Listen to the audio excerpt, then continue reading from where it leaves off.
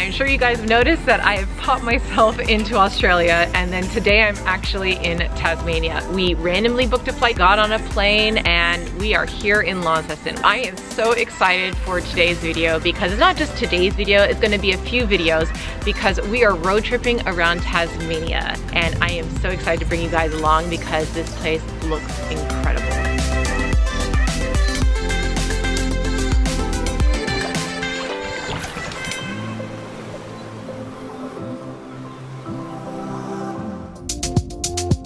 First things first, we grabbed our bags and went straight to our hotel change overnight. We picked this hotel because of its location, modern apartments, and the fact that a portion of the proceeds go to charity, which is awesome. Now let's check out Launceston. A local had recommended us this little wine bar called Havilah. We did their $50 set menu, which featured a duck confit. Pair that with a local Tassie Pinot, you have the perfect introduction to Tasmania.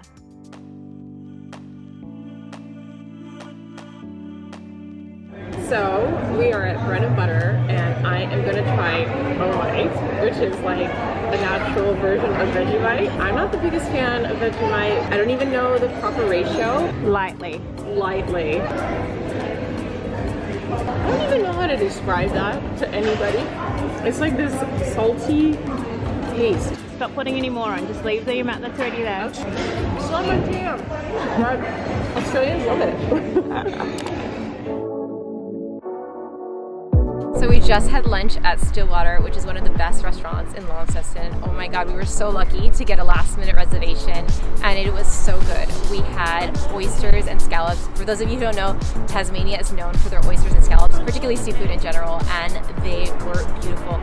We also had the softest, beautiful ocean trout and it was local too. This place is also one hat, which is equivalent to like one Michelin star. So if you're coming to Tasmania or you're coming to Launceston, this place has to be on your list.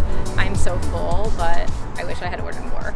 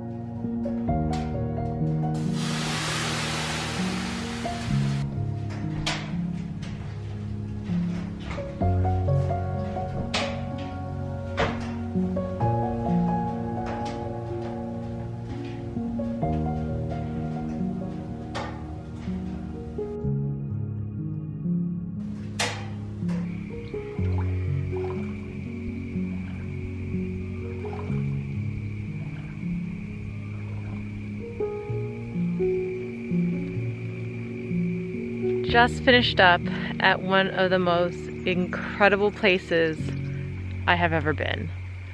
Is floating sauna on Lake Derby. Guys, this needs to be on your bucket list. It's so peaceful and quiet and incredibly beautiful. This place is amazing.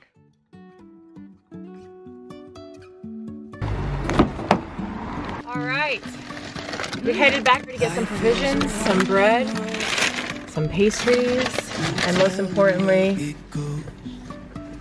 coffee. so now we're about to head on the road and Launceston, you were a little sleepy, but we did eat well here. So really excited to see what the rest of Tasmania has in store for us. So let's get going. You could smell this, but there are eucalyptus trees everywhere.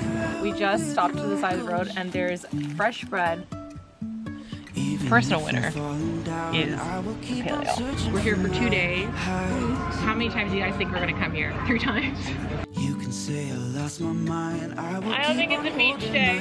We're at Cloudy Bay, which is known for surfing, not for the wine, just in case you were wondering.